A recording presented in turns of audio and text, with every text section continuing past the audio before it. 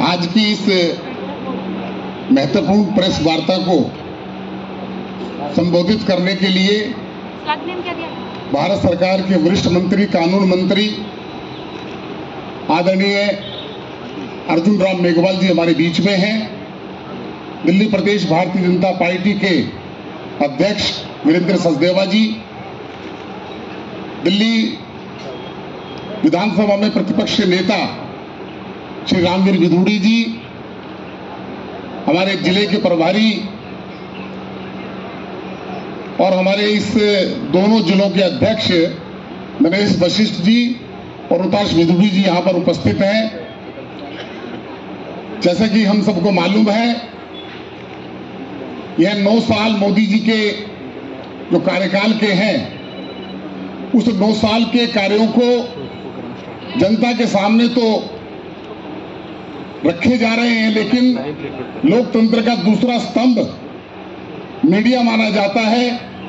तो मीडिया के आँखों से भी वह जो उपलब्धियाँ, जो मोदी जी के नौ साल में सेवा, सुशासन और गरीब कल्याण की योजनाएँ जो प्रधानमंत्री जी ने लागू किए लोगों की सेवा करते हुए, उस निमित्त पूरे देश के अंदर, प्रत्येक लोकसभा के अंदर जहाँ भारतीय जनता पार्टी के सांसद हैं, उनके भी कार्यों की उपलब्धियों के लिए आज हम सब यहाँ पर आए हैं।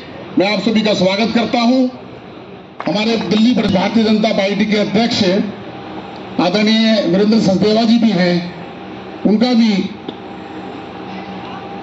स्वागत करेंगे। माननीय केंद्रीय मंत्री श्री मेघवाल जी, नेता प्रतिपक्ष श्री रामवीर सिंह विधुड़ी जी, हमारे लोकप्रिय सांसद रमेश जी, हमारे दोनों जिलाध्यक्ष भाई योगेन जी और मीडिया के सभी बंधुओं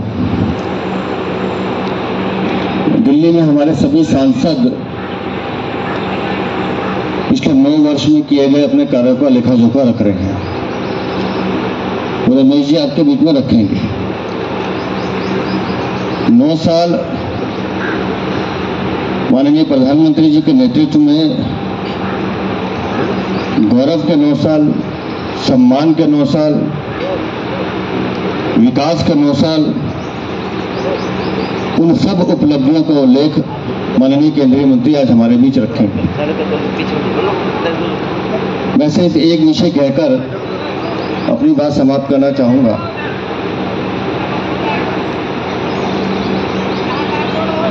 एक घटना जिसके बारे में मैंने कल भी ज़िक्र किया था, आज अखबारों में छपी है। कि किस तरह से दिल्ली के सरकारी रैन बसेरों में जानबूझकर धर्मांतरण का खेल खेला जा रहा है। विदुड़ी जी ने अपनी बात कही है। यह सारा का सारा इसमें इस पुस्तक के अंदर दिया गया है।